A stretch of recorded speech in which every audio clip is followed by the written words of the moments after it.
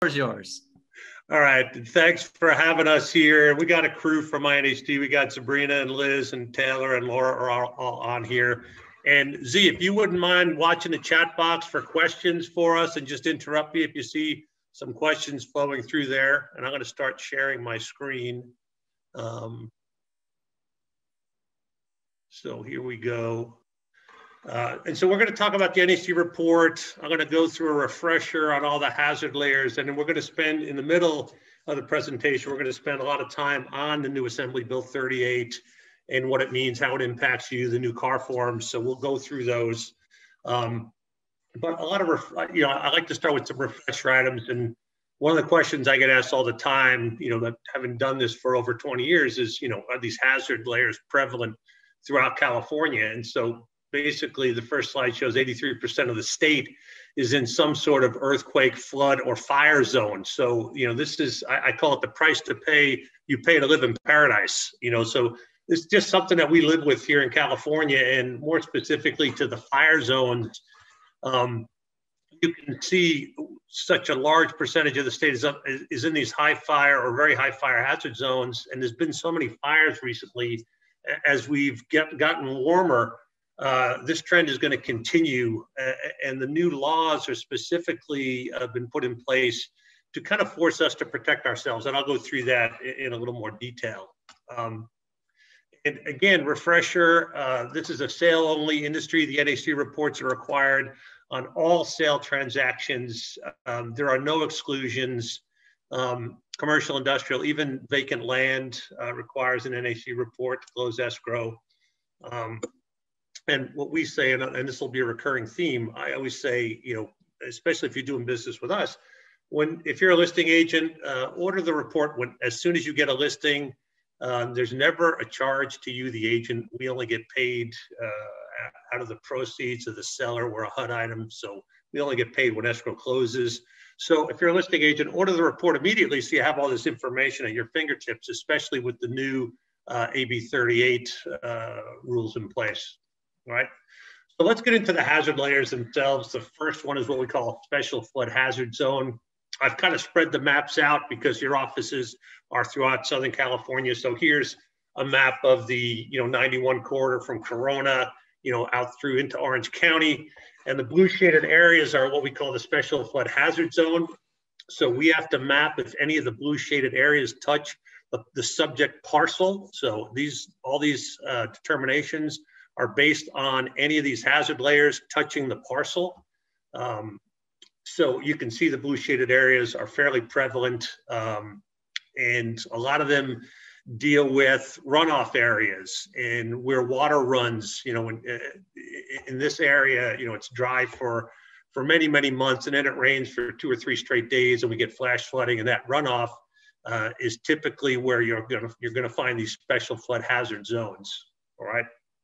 And this slide just depicts just how specific we can be, because one of the questions I get from a, a lot of agents is, you know, my property is in a flood zone, but the person on the other side of the street is not in a flood zone. How is that possible?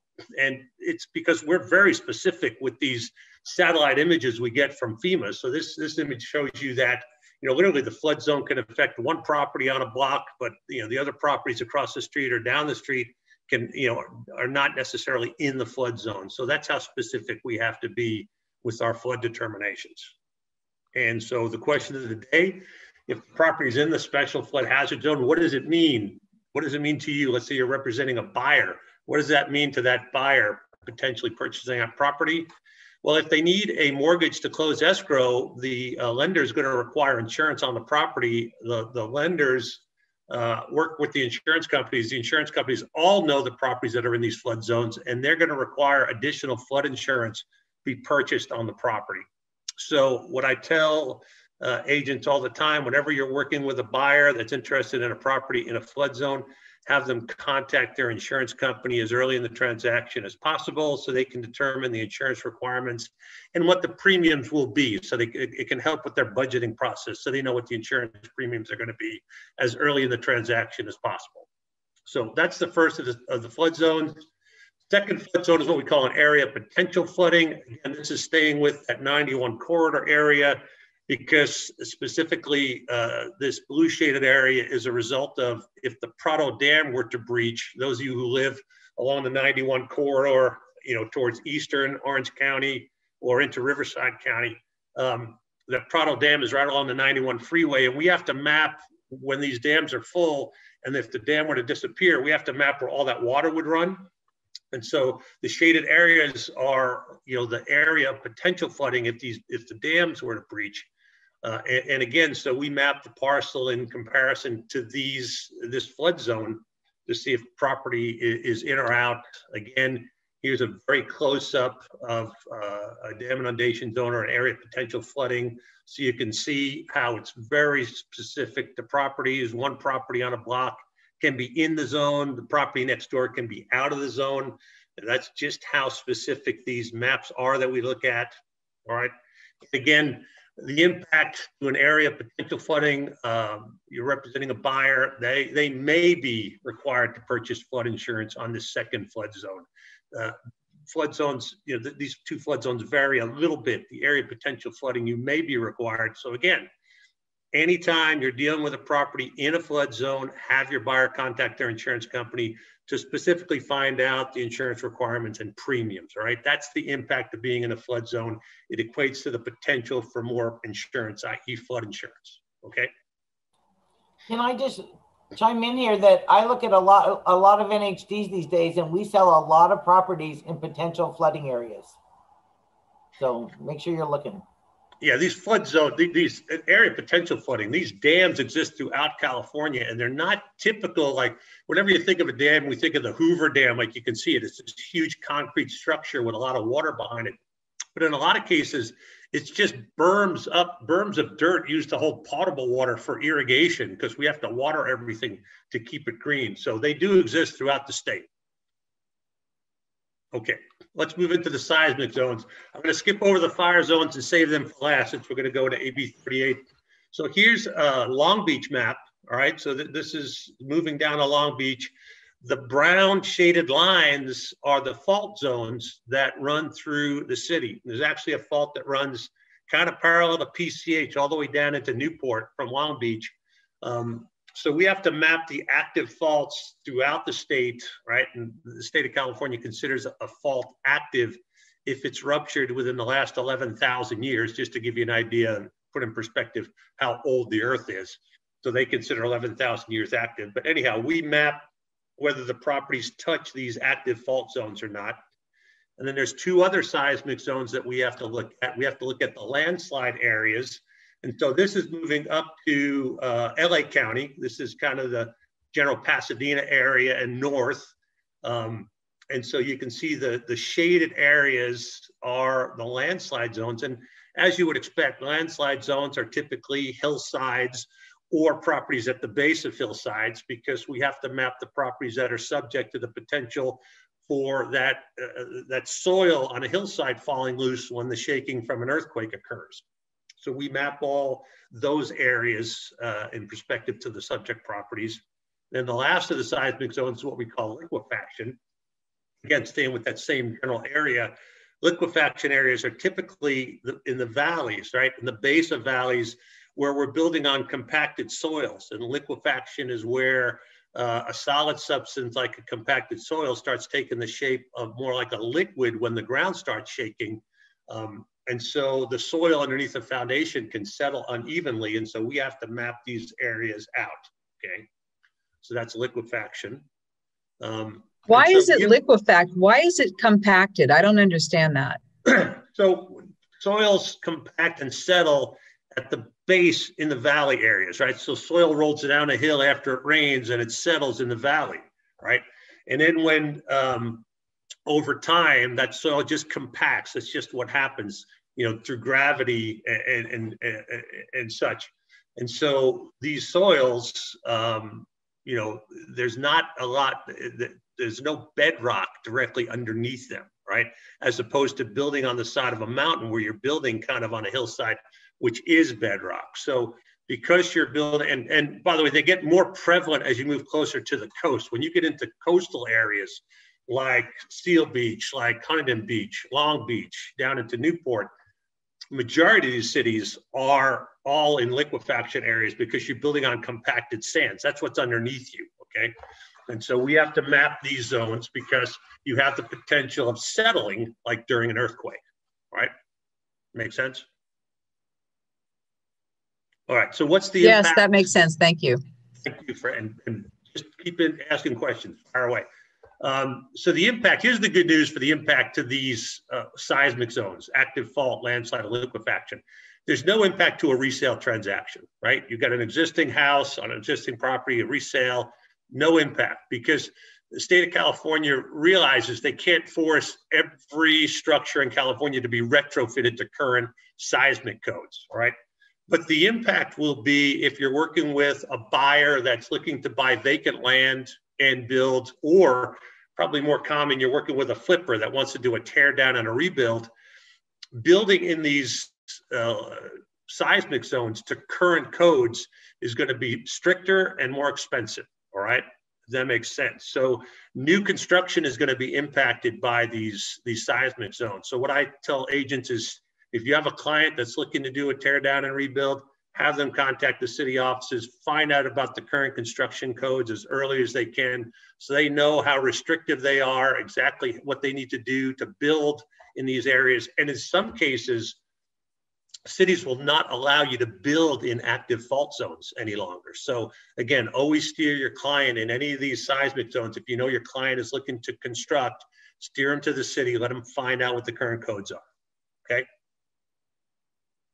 All right, so now we're gonna circle back into the fire zones. And so uh, I have a number of fire maps. And so what we're looking at now, based on the new AB 38 laws, if we have to map now the high and very high fire severity zones, not just on a state level, not just from CAL FIRE, but now we also have to look at the local fire maps that come from the counties and from the cities, all right? Because AB 38 says now you have to look at the local maps as well.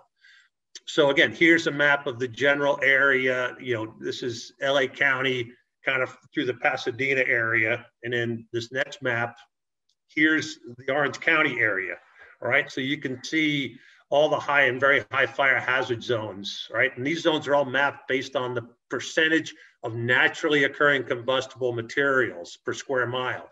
So you're going to find these zones in the grassy areas as you get towards Laguna further south, as you get east towards Foothill Ranch and up into the, you know, kind of the foothill areas towards Saddleback Mountain. You're going to find these high fire hazard zones. I lived in Lake Forest for 22 years, so I know this area very well, right? And so, and that's, you know, that's where the recent fires have been too, right?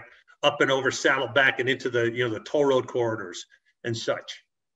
And then we also have to look at the local map. So the next slide, this is an interesting map because the city of Irvine in their fire map simply takes the state map and adds a 100 foot buffer completely around that map. And so if you're just looking at or working with an NHD company that only has the state map, they're going to exclude that 100 foot buffer and all those homes are not going to be considered in the fire zone when they're looking at making their determinations. All right. So these maps are very detailed on a local level. Um, here's the Pasadena fire map, right? So it's very specific to the city of Pasadena and where the fire zones exist.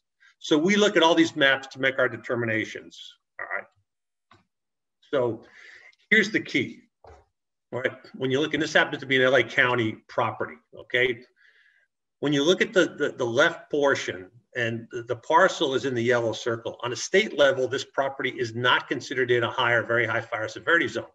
So if you're working with an NHD company that's only looking at the state level maps and hasn't, you know, invested the money in the county and city level maps, they're going to say that property is not in the state level fire zone, i.e. not affected by AB 38. Okay, here's the segue into the new laws. On the right, you see the county of LA fire map where clearly this property on a county level is in the fire zone. So now with AB 38, you have to consider that property as in with regards to higher, very high fire hazard. And it's now affects the property with regards to these new disclosures, okay? So what do these indeterminations mean again? Uh, first of all, uh, it may be difficult for buyers to obtain uh, insurance in these areas, all right? We're going to talk about AB 38, but also there's insurance impacts to being in fire zones, all right? And insurance is typically expensive. Um, again, anytime you're dealing with a fire zone, have your buyers contact your insurance companies to find out the, you know, the, the, the, premiums for that area. And if they have a if they have a difficult time getting fire insurance, you can go to the California Fair Plan, FAIR, for uh, uh, to get fire insurance on the property. I happen to live at the base of the Sequoia National Forest. I am in a very high fire hazard zone. We had to, and I, have been a farmer's client for 30 years. And when we bought this property three years ago, I had to go to the California Fair Plan to get fire insurance. And it's more than twice as much as my standard property casualty policy, just to put that in perspective. Okay. So, new Assembly Bill 38, what does it mean now? All right, first of all, there's two pieces to this. One, the first part was effective January 1st, and that basically says that it's it's it supplements the existing high and very high fire hazard zones within state responsibility areas, right? So they're now looking at these fire maps in a different way. And then effective July 1st, you now have to be concerned about something called defensible space. All right, and I'm going to talk about that. But what it means is now both the state and local level high and very high fire severity zones must be disclosed, right? So the local level is the new piece of this, having to look at the local fire maps. The new home hardening and defensible law does not appear on the NHD signature page. So I'll show you that page too. So the, the form that has to be signed in an NHD report, that first page, Sacramento did not let anyone alter it. So there's no reference to AB 38, but I'll show you where we, uh, we make that determination for you. And here's another key. It affects the sellers of older properties. So pre January 1 of 2010, all right? So that's one of the triggers here for these new disclosures. So if the property is in the high or very high fire severity zone and it was built prior to January 1st of 2010, you now are responsible for these additional disclosures and the new CAR form to, to take care of that for you. Uh, the construction codes changed effective January 1 of 2010 to force these retrofits on new construction going forward. So that's why we're dealing with older homes in these fire zones. And again, there's a new CAR form for this. There was a CAR form HHDA that was uh, effective January 1st. That's being replaced by CAR form FHDS, uh, effective with closings July 1st and after. And I'll show you both forms in a second. Right. So let's look at the NHD report. Here's the natural hazard disclosure statement. This is mandatory on every NHD report, regardless of who you get it from. And as you can see, circled in red, on a state level, this form only shows the state level determinations. This property is not in a high fire hazard zone. It's not in a wildland fire area, right? Clearly says no here. And this is the page that's signed. Now, the next page in our report is our natural hazard disclosure report summary. Again, at the top, you see the state level determinations. In the middle, you see where we not only have the local determinations, but we now have a supplemental fire hazard severity zone, AB 38. We specifically spell out AB 38 on our form. And in this case, because the property is in a local fire zone, yes to AB 38, which means it qualifies for the AB 38 disclosures.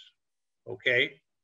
So you have to not only look at the signature page, you have to go to the next page on the report and you have to look, does this property qualify for AB 38? We will tell you yes or no, okay? So once you see it, you're a listing agent, you order the report for your new listing, congratulations, you get the report, you go to this disclosure report summary page, you see yes to AB 38, your next cause of action is when was the when was the, the home built? It was built prior to 1-1 of 2010, okay, I have to provide these new AB 38 disclosures, all right? And again, the next page, this is just our city county level disclosures with an explanation. So here we say, yes, the property is located in a supplemental fire zone, very high fire zone, and we, we, we give you a definition of that fire zone, um, including you know, the home fire hardening disclosure and advisory right in the, the, the guts of our report. So we're spelling this out for you so you know immediately by looking at our report if the property qualifies for AB 38. Okay, so let's summarize effective 1-1 of 2021 and going forward. Um, if the property was, and these are for residential properties, one to four units, if the property was built prior to 1 1 of 2010 and the property was is in a higher, very high fire hazard severity zone, then you have to provide the following statement, by the way, which is on the car form but I like to spell out the statement here. This home is located in a higher, very high fire hazard severity zone, and this home was built before the implementation of the wildfire urban interface building codes. Those are the codes that changed 1 1 of 2010, which helped to fire harden a home. This is all about making a home more defensible against flying embers during a fire. All right, it's to better protect your home from wildfire you might need to consider improvements, information on fire hardening, including current building standards, and information on minimum annual vegetation management standards to protect homes from wildfire can be obtained on the internet website, www.readyforwildfire.org, okay? This is right on the car form as well. But I, I recommend you all go to readyforwildfire.org because it really goes into detail about the need for fire hardening and also it goes into the defensible space requirements as well, which we're going to talk about in a second. Scott, Cindy yeah. has a really great question. Um, do all NHD companies have to provide the local disclosures? It's not mandatory by law. All right. The, the, the, the NHD laws state that the state level disclosures are mandatory this is why you really want, this is like a buyer beware. It's a great question. Buyer beware. If you're using MyNHD, fantastic, thank you. You know you're going to get the local disclosures, and we're going to spell out for you whether you are required to provide the AB 38 disclosures, right? Right on our summary page.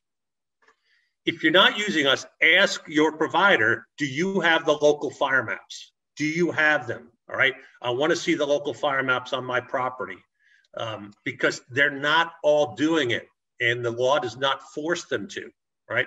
The law, AB 38, forces you to make sure you're paying attention to the local maps. It doesn't force the NHD company to use them. It's a fantastic question. Okay.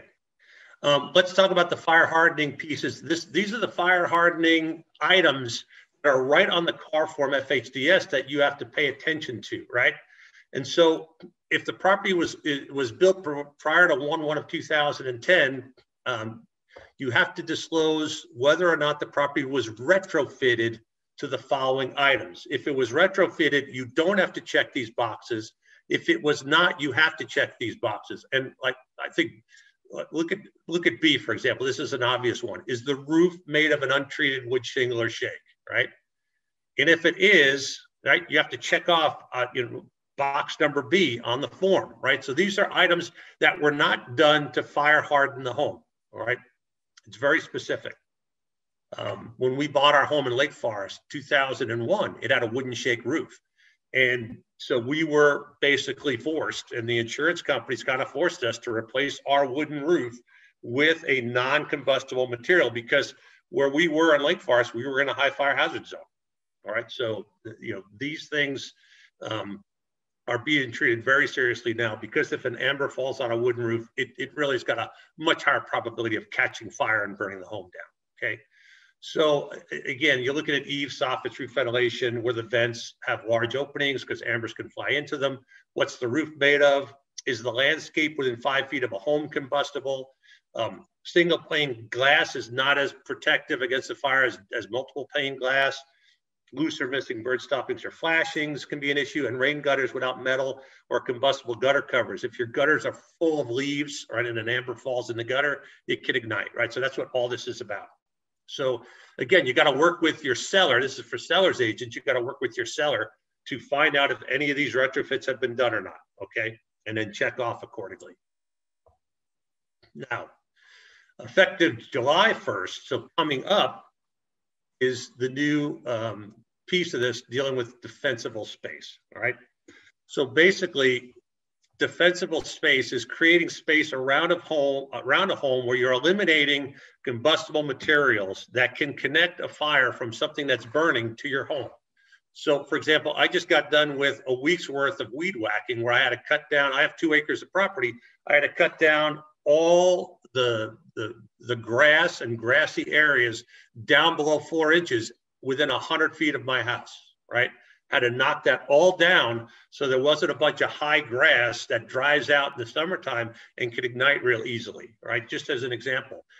Um, you have to space your plants and shrubs on your property, right? You can't have combustible materials within 30 feet. So if you have a wood burning stove, you can't have a wood pile within 30 feet of your home. So these are all items that you have to, uh, like the home seller has to provide a certificate now, effective July 1, to the home buyer that their property is in compliance with the defensible space laws. All right. So you can go to CAL FIRE if you live very rural, like I do. If you live in county or city limits, you can go to the local city fire department. You could go to the county fire department and ask them what their specific defensible space requirements are if you're working with a seller that's in a high or very high fire hazard severity zone. Okay. By the way, defensible space does not care when the home was built. This is any home in a high or very high fire hazard severity zone, you have to provide to any potential buyer a certificate that that property was certified regarding creating defensible space. Okay. So again, here's the triggers, just to summarize. Home hardening triggers, right? This is, these are, you know, for these retrofit items. These are for re residential properties. If the property was built before January 1st of 2010, and on the MyNHD report, it says, yes, AB 38, it's in a high or very high fire hazard severity zone. You have to fill out the new CAR form FHDS, right? With regards to defensible space, if the property is just simply in a high or very high fire hazard severity zone and is a residential property, that effective with escrows closing after July 1, on July 1 or after, you have to fill out the CAR form FHDS regarding the defensible space portion of the form, all right? Here's the old form, so you can see it, it was a one-page form, HHDA, all right? And as you can see on the form, section two, number two, you can see those items A, B, C, D, E, and F that I just listed off on a previous slide. They're right in the, the form itself, all right? This form is now being replaced by CAR form FHDS. And again, when you look at number three, section B, you see all those fire hardening items, one, two, three, four, five, and six. When you get to item number four, there's your defensible space requirements where you have to basically, uh, as, as, a representative of the seller, provide to a buyer the certificate that, that the property has been compliant regarding defensible space, or you can get the buyer, if you if the buyer is used to living in a wooded area, right, then they may say, you know what, I'll take on that responsibility. I understand defensible space and I'll do it. So it's kind of an either or proposition, all right? And this new form is a two-page form with the, you know, the signatures required on the second page, okay? All right. So again, summarizing, uh, you know, the high and very high fire hazard property is in. We're going to tell you that in our summary page. You have to disclose where home hardening has not taken place. That's Form FHDS for that purpose. You also must educate buyers about creating defensible space and provide the certification. And there's a website from CAL FIRE, readyforwildfire.org, that can help you with all the details on this information, okay?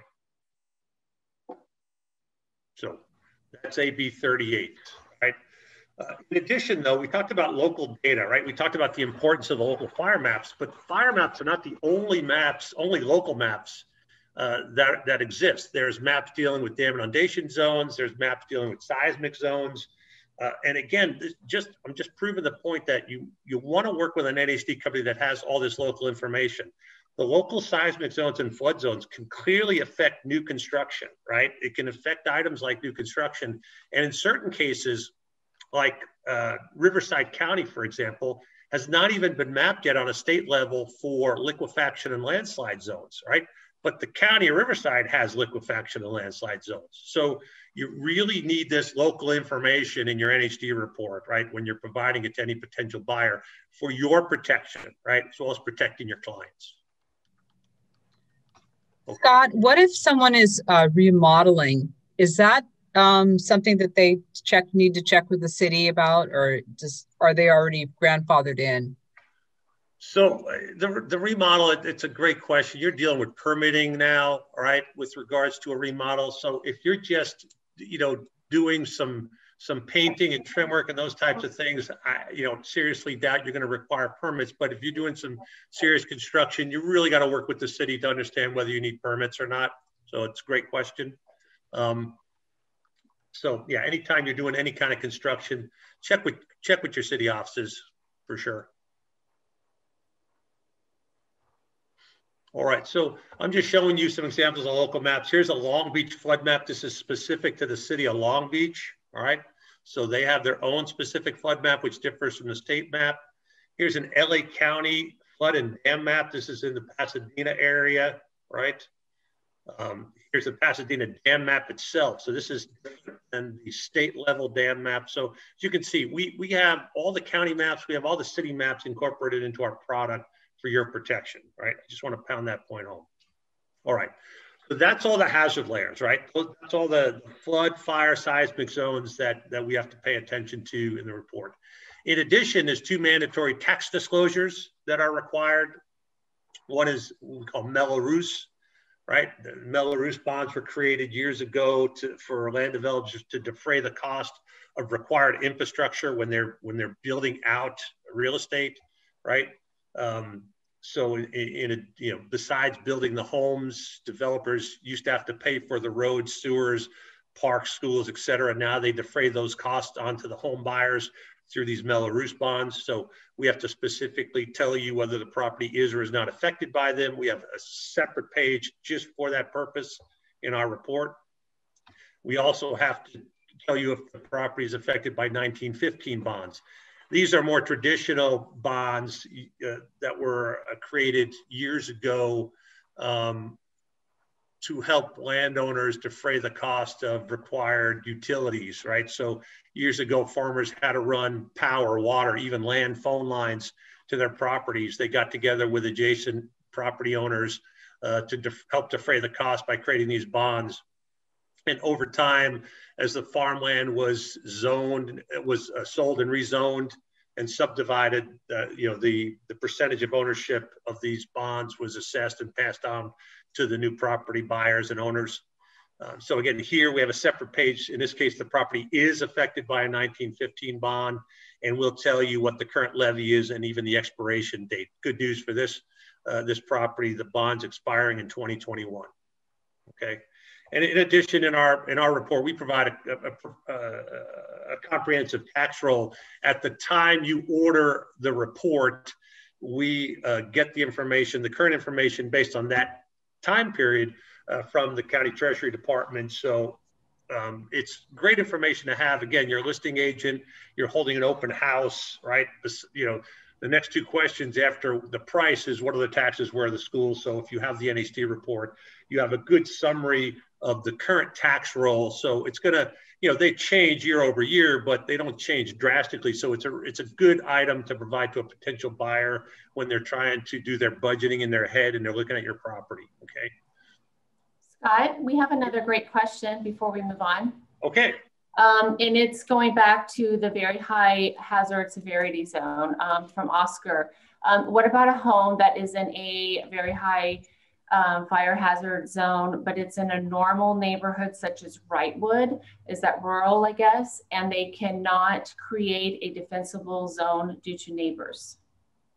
So it's a great question. The defensible zone, uh, defensible space, there's two zones. There's a 30 foot zone around the property. That's where you can't have combustible materials like wood piles and you can't have combustible plants around your home. Uh, tree limbs can't be touching your home. And then out to 100 feet, you have to space your shrubs and trees and you have to cut all your grass down to four inches. It's 30 feet or 100 feet or to your property boundary. Okay. So, for example, on three sides of my property, I go out to 100 feet. On the fourth side, after 40 feet is the Sequoia National Forest. So I only have to clear up to my property boundary. You don't go past your property boundary to clear and create defensible space. Does that make sense? Okay, so it's up to 30 feet for boundary one or your property line and up to 100 feet for boundary two or your property line, all right? So great question. Okay, moving along. Um, everything we talked about so far is in what we call our standard report, right? If you want all the environmental disclosures, they're in our premium report. So the environmental information, this provides information about a property's proximity to known environmental sites. So different than the hazard layers, we, we tell you the property is touching the hazard layer, it's in or not in. We tell you a proximity, we give you a proximity report on the environmental disclosures. We tell you how close these items can be to the subject property, right? Uh, all this information is found in public databases, right? Um, it's detailed, so all buyers, you know, will know the environmental sites in the area. And again, I always say more is better with disclosures, so it's more protection for you, the agent. The more you provide, the more disclosure information you provide, the better you're protected with regards to that transaction. And here's, uh, so circling back to Long Beach area, here's the environmental sites in Long Beach. Now this is a, you know, this is a large radius map of the entire city. Um, the majority of the environmental sites that we look at are the blue crosses, which are leaking underground storage tanks, right? So these are oil rigs, the, the storage tanks underneath oil rigs, or these are gas stations where their tanks are leaking, right? They, they once they're leaking, the, the government, whether it's a state or federal government, comes in to remediate that site, to clean it up. And then once they're working on cleaning up the site, it goes on the database that we pick up and we put it in the report. All right. The green dots, these are uh, hazard waste sites. These are dump sites, right? So this is the city, county, or even private dump sites where hazardous waste could be dumped, okay? This could be something as simple as a, you know, a, a, place that sells tires that can legally dump tires in their, in their back area of their lot, right? But anything, any, any property where uh, toxic materials can be dumped legally, they go on a database, we pick it up and put it on the dump site. And then we also will list the oil rigs, you know, and those sites, and then any other site that um, if, if an industry like a paint manufacturer needs to use a toxic chemical in the manufacturing of their uh, product, they have to be registered on a site, what's called a surplus site, because they're using uh, toxic material in their manufacturing. So we pick that up uh, on the database and put it in our report. So um, all these sites go in this environmental piece. And don't be, you know, don't be nervous looking at this. This is the entire city of Long Beach, and typically more densely populated areas have more environmental sites on them. When we're looking at a subject property, we're looking at a half mile radius, so it's a very small circle around the property to see how close any of these sites are, and then we simply list how close these sites are to the property. Okay. Any questions there? All right. So, No questions. Go ahead. Question or no? No? No. Okay. Uh, so summarize, you know, just, just just some summary information. All right, we carry $10 million of, you know, insurance from Farmers, California. You know, I always tell uh, agents, always check with your NHD company to make sure they have a current E&O certificate. That's what protects you. We've never had a claim, you know, against our product. We, you know, we've never had an incorrect determination, but they've happened with other companies. So it's the E&O insurance that protects you if that were ever to occur. So always check and make sure. Remember, we talked about the fact that we're paid through escrow.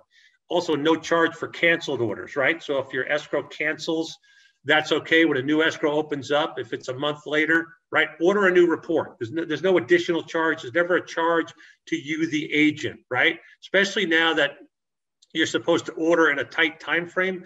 The moment you get a listing, order your NHD report from us, right? You're, there's never going to be a charge to you, regardless of, of whether the escrow, you know, can, uh, opens or cancels, right? Um, you see our pricing on there. We think our pricing is excellent. Um, and we have 24 hour ordering and product delivery. That's another thing you should expect from your NHD company. You could go to our website. It's Friday night, six o'clock. You're, you're having dinner um, or a beer like I like to have Friday at six, right? Oh crap, I have an open house tomorrow. I wish I had my NHD report. Just go online with us and order it. You'll have it within an hour, right? We're 24 seven. So um, make sure your company can provide you that level of service and support, okay? And with that, I'm going to stop sharing my screen and just see what other questions or uh, anything we want to go back to and, and cover again. So I'll open it up to the group. I have a question.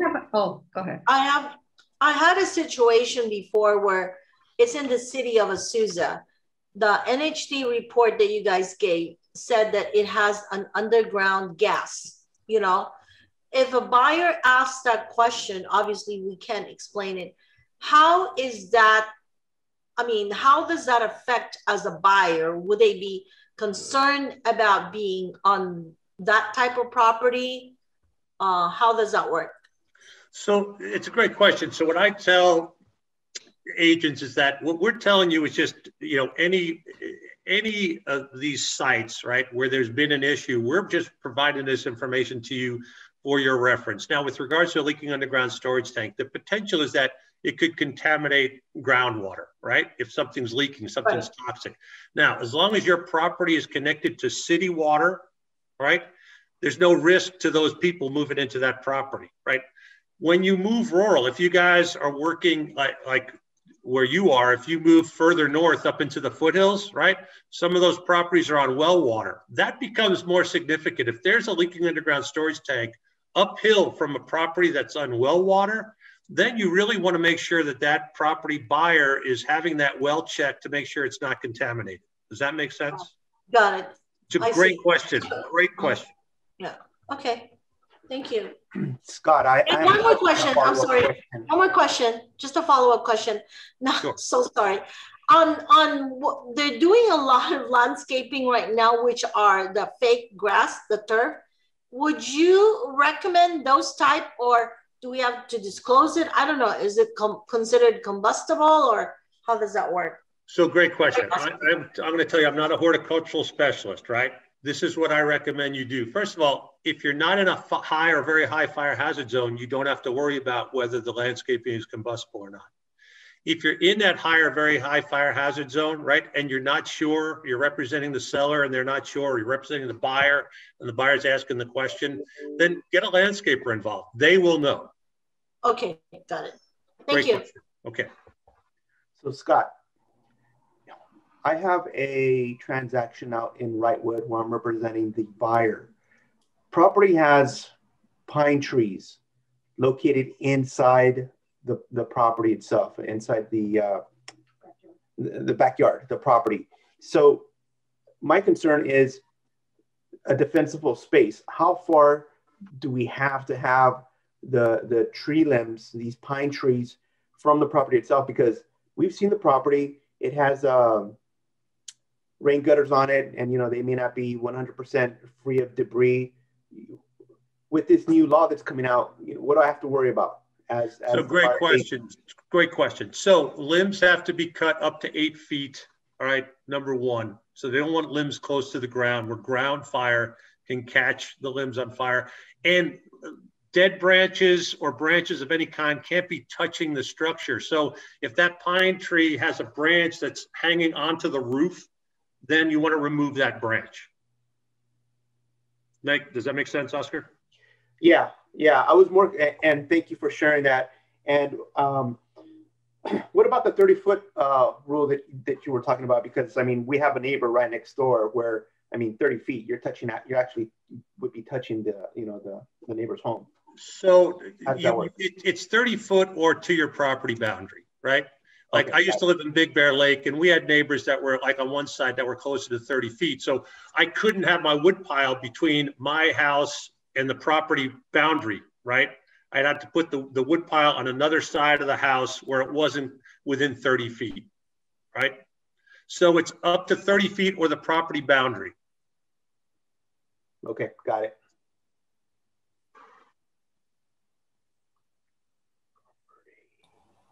Wow, I think it was super informative. I have a question regarding the taxes, uh, special assessments and Mello-Roos. Uh, usually we have a hard time finding the expiration date if there is one. So your report will always have it if there is one? Correct. So it, it has a separate page. Uh, I'm gonna, let me share my screen again real quick.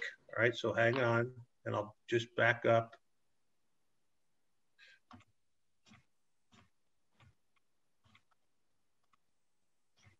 So the first two pages in our tax report, page one is Mello-Roos is or is not affected, right? And if it is, it would tell you, like, like in this case, the second page is the 1915 bond. It is affected. It gives you the current assessment amount, all right?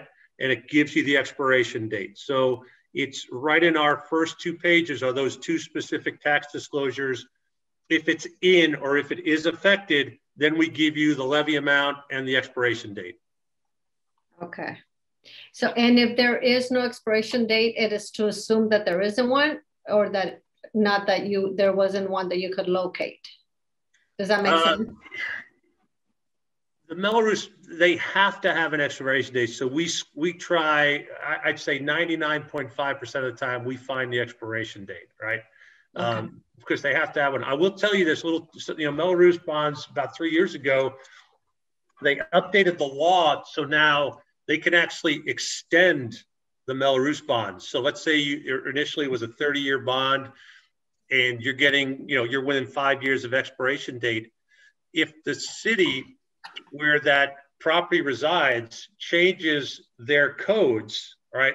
And the code affects, you know, the, the, the land developers, then the land developer can have the bond extended. So um, we will reflect that in our report, but I just want you, you know, the audience to understand that sometimes the now the expiration dates do actually change and get extended on these Mello-Roos bonds. Oh wow! Yeah, they're tricky. Okay, thank you. Okay.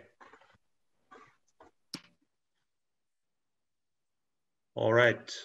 Well, look. Uh, Speak now or forever hold your peace. Yeah, great questions and we're always available, right? You, you'll you'll have all our contact information. Uh, you know, we're available anytime. If you ever have any questions, um, especially with the new AB 38 laws, um, you know, don't hesitate to ask us. We're glad to help. Oh, I, I do have one put the question. contact information in the chat box. Will. We'll or right someone from your team put your contact information in the chat box. I'm sorry, Monica, go ahead. Yeah, no, no problem. And he probably already said, and I didn't catch it. The tax information is included in the premium or the basic? All reports. All reports. Everyone. Okay, thank you.